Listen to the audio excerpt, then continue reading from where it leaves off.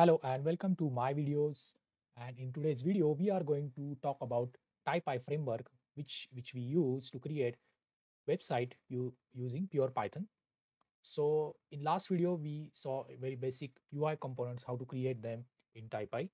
In today's video, we are going to talk about uh, some basic building blocks. What are scenarios? What are data nodes?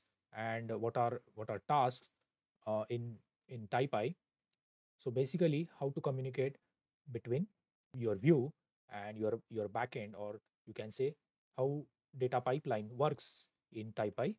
And through code, we are going to see how to how to uh, connect data points using code, as well as we are going to see how to perform the same operation in Taipy Studio, that is extension in Visual Visual Code uh, VS Code Studio. So let's start with creating new project Okay, so let me create new folder.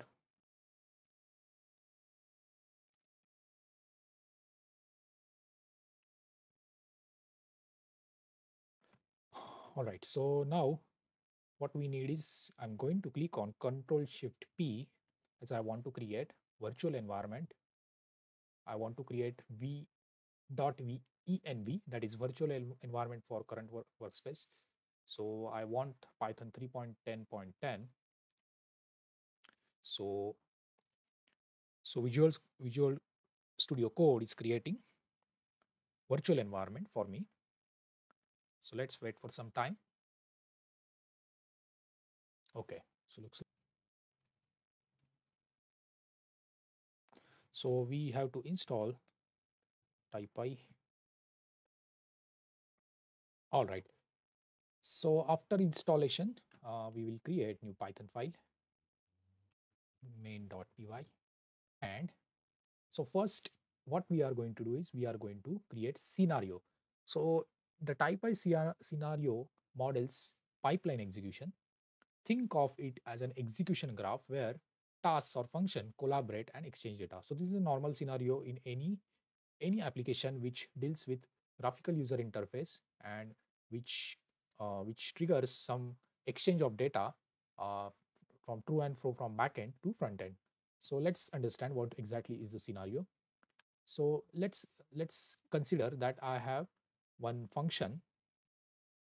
I have one function build message which takes parameter as string and which returns hello his name okay this simple function so input parameter is string and it returns string with hello and that name the parameter that we pass so, so my scenario here is I have one name that is data node name. Uh, it can be a input name where I'm reading the value and on same UI I have another another uh, UI component where I'm displaying that value. Okay, so this is the simple scenario. I have to read from one control UI component and I need to write it on another UI component. So here, what what uh, we have two data nodes. One is input and one is output. So from taipy let's import config config and let's let's define our scenario. So first is input input name data node configuration. So suppose i have input input name html comp component configure data node. So let's say uh, we are going to name that ID as input name. So we don't have yet, we'll declare it very soon. So it will be like this. So my UI component will look like this. So let's say I have input name string type i and uh, my page looks like uh, as we have seen in previous uh, example I'm using here markdown syntax input. So this is input type and here i am accessing this variable name input name. Okay so this is how my page looks like and uh, we have function name equal to page dot run all right. Now second data node. So let's uh, declare in GUI. So we have button. Submit. Submit button. And this submit button has some action right? So on action i'm going to call one function. Uh, i need to declare one method here. Submit. Let's say scenario. I need to declare this method here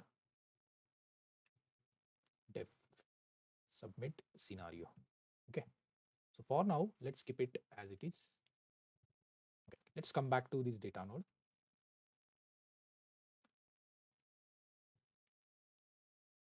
Yeah. So now uh, we have our se second.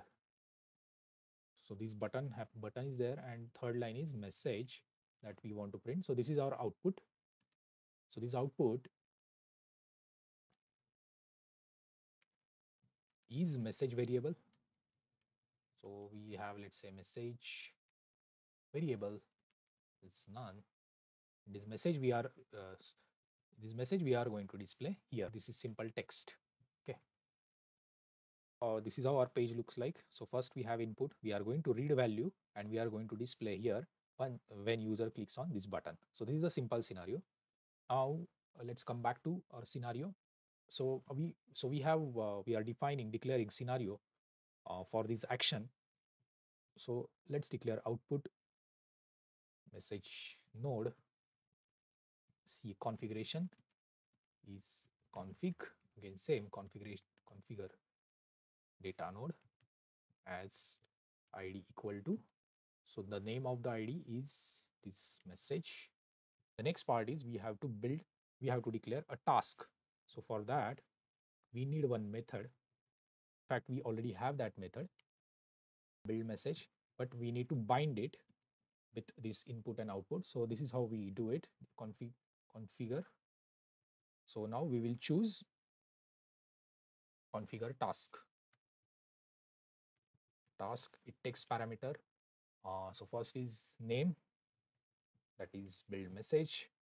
Second is method build message which is we uh, the one we declared here.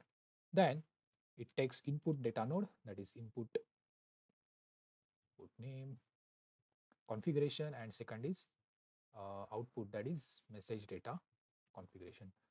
So this way so this method we are passing uh, so we created one task with this method.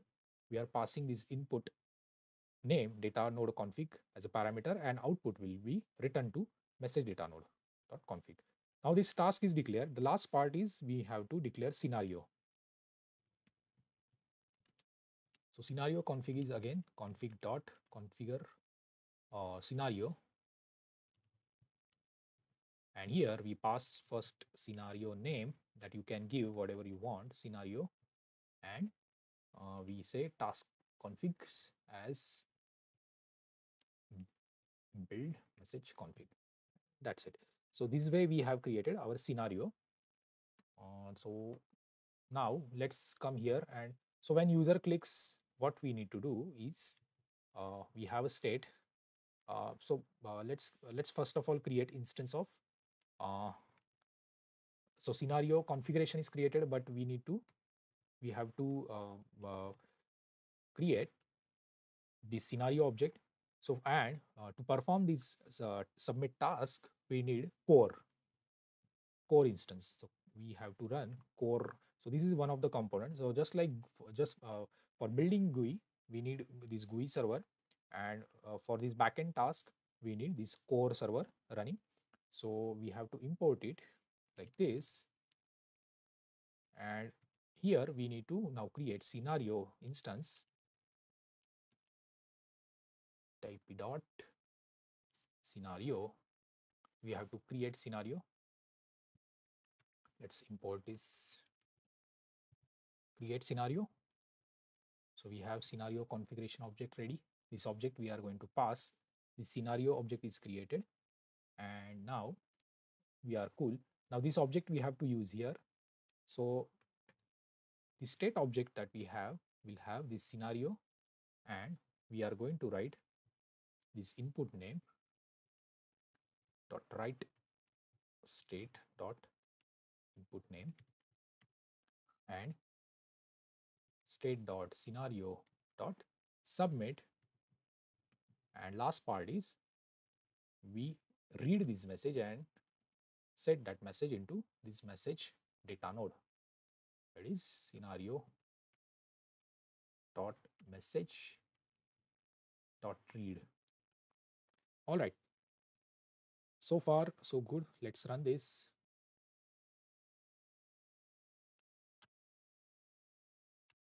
So there is one syntax problem that we will fix quickly. Otherwise we are okay. Yeah here we forgot to add pipe. Uh, so let's run again and see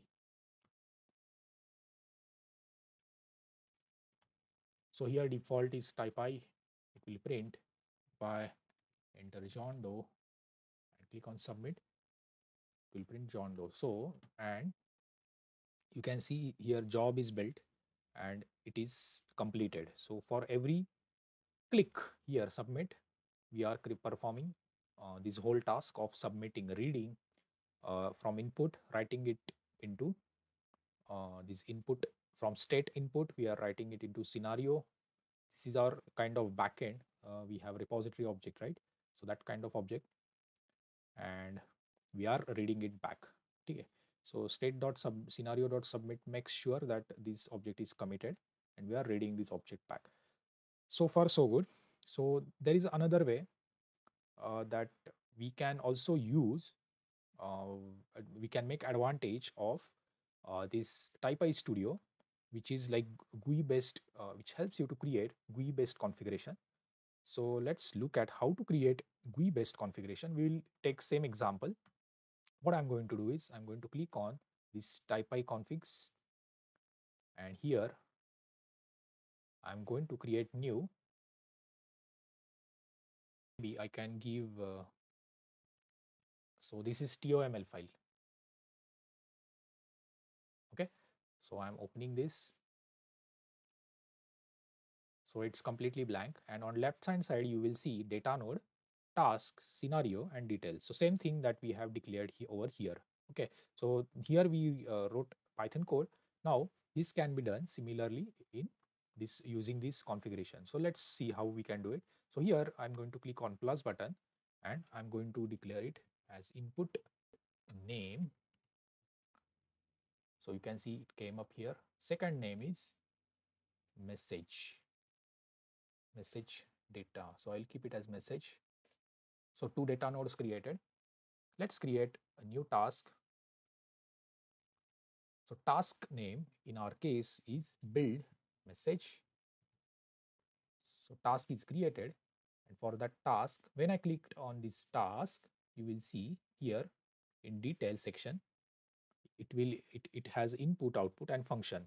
So so input the it requires function name input and output. So we have to give these data nodes as input name and output is message. Okay. So we'll again go back and we'll configure. I will click here and it is automatically showing me. So I must select this input name. So it has updated. Then I'm going to create on output. I have selected it. I'm going to click on OK. It, it has updated. And next part is function. Uh, in inside main, I have this build message function it has updated and yeah so this part is done the next part is scenario config so here in scenario section i'm going to click here plus on plus icon i'm going to name this scenario as my scenario okay and this scenario here again you will see task here if i click i have this build message task displayed automatically. I'm going to select it and click on OK. So my scenario is created. Okay, which so build message, my scenario, my scenario, which with build message task and with two data node input name as an input and output as a message. Now I can go come here and I can delete this as we have uh, done this part through this TOML file. Now we should be able to read this file here. So we are going to use config dot load and name of the file is taipy config toml yeah. So our name type type type i config underscore config.toml then run is okay. Now we need to read scenario scenario config equal to config dot config dot scenarios my scenario. And then we will create from this scenario config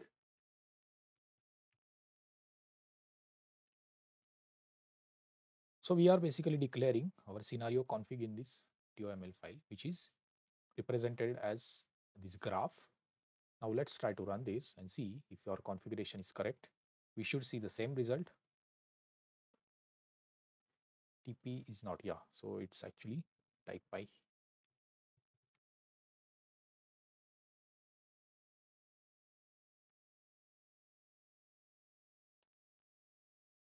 yeah it's running. Let's see if yeah it's working as expected. So this is how we use taipy config editor uh, for building configuration. You can also use this taipy editor to build ui also that we'll see next uh, next video uh, using markdown uh, markdown editor markdown syn syntax. So thanks for watching my video. Please like share subscribe. Thank you